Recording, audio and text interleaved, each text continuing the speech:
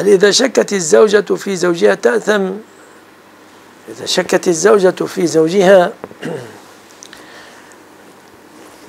إذا كان محل هذا القلب لا تأثم على ما في القلب لكن أبرزت بسبب ذلك ظلما و ظلم بني على الظنون السيئة فهذا حرام.